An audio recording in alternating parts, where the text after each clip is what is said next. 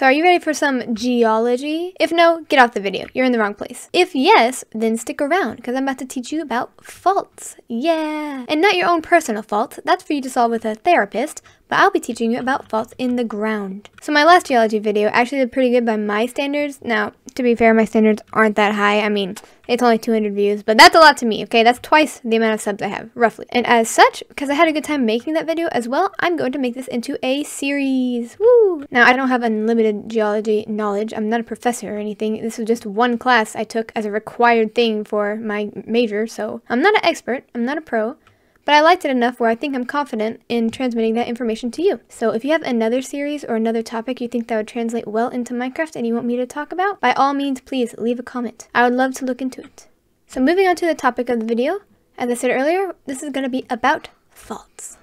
The technical definition of a fault is a break in a rock along which there has been movement. There are other things called joints, but joints lack the movement which characterizes faults as a fault, and as such, I'm really not talking about them because they're just a break. It's like breaking your bone. It's not interesting. This is an example I made of a fault. It's like a cross-cutting of a fault you'd find in the ground. So this is the fault itself. As you can see, it's like a break in a continued rock wall or rock line. Since you really can't get into the fine details with Minecraft, it's, you know, obviously going to be blocky. There wouldn't be these spaces. I just am doing that so you can see it a little bit easier rather than just having colored blocks. As you can see, what was once continuous rock has now been split. So a little bit of terminology I'm going to be using is footwall and hanging wall. Now, this part is going to be the foot wall, and that one's the hanging wall. I always remember it by the one with the smaller angle at the bottom was going to be the foot wall, and the one with the larger angle was the hanging wall. But those names actually come from mining. So oftentimes along a fault, there's going to be a bunch of valuable minerals, and since humans want access to these, we're going to mine down along it. However, you can't just mine a hole straight down. It's going to be very, very hard to both navigate and do any mining work itself, like extraction. So the tunnel down would always be slanted following the fault itself, which would look something like this. Let's say this tunnel I just built follows a fault.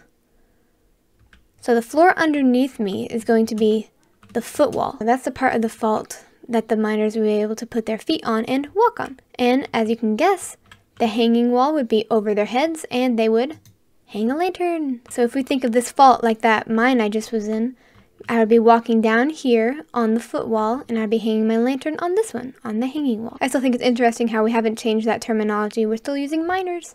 Okay, let me clarify. Miners, E-R, not minors, O-R. The Fair Labor Standard Act of 1938 banned the use of child labor in mines. Also, if any of you make this weird, I will find a way to ban you and chase you down.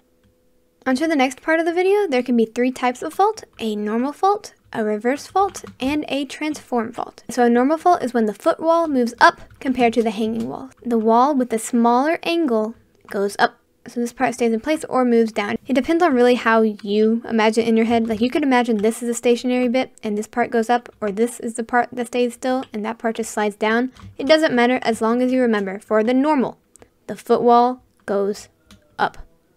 Then you have the reverse fault. As you can guess, it's the reverse of the normal. So for the reverse fault, the hanging wall moves up relative to the foot wall.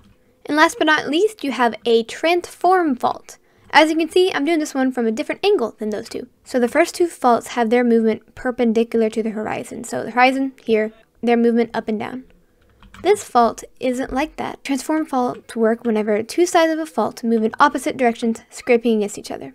I say opposite directions because that's a way to help you remember, but use that very loosely because not all of them move in opposite directions. There's some faults where both sides actually move in the same direction, just one side moves faster than the other, meaning that the one faster will constantly be scraping against the slow one. Before we move on from the faults completely, I'd like to brush over the reverse fault because there's actually a special variation of it, which I made right over here.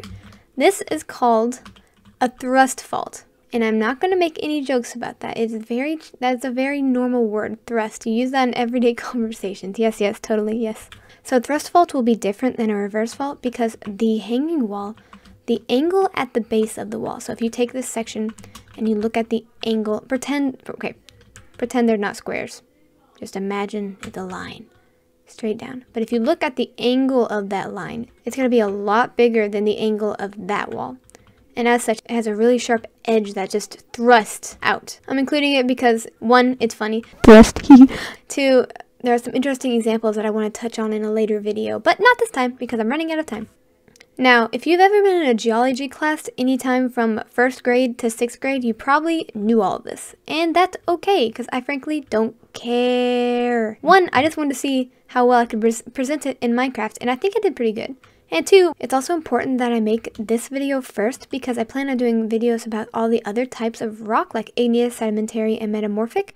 And in metamorphic rocks in particular, they rely a lot on pressure. And as you can imagine, two big hunks of rocks pressing and scraping against each other causes a lot of pressure. So I'll be touching upon these concepts in that video and as such you'll probably need to watch this one first as a refresher. Because let's be honest, if you're not going into a field that isn't directly related to geology, like half these concepts, they're gone. You move out, you get out of that classroom, you're like, bye, and it's all gone. You aim for an A, maybe a B, but when you go home, that knowledge is bonk, gone. If you're still here, thank you. You made it to the end of the video, and that's pretty cool. I hope this was mildly entertaining, even if the concepts were super simple, but, you know, a refresher doesn't hurt. Can't give anything to you because I'm through a screen, but I can show you something cool. When I was building earlier, I found this magma pool, and it looks like a heart. Ta-da! And that's how I feel about all of you guys that make it to the end of the video. Big magma melting heart. Interpret that as you will. Please like and subscribe. It really helps the algorithm. And also, if you still want to support me and you still don't think I fumbled the bag with this video, please consider my Twitch. trying to make it to 100 followers by the end of the year, and so far I'm failing miserably. So see ya. Bye.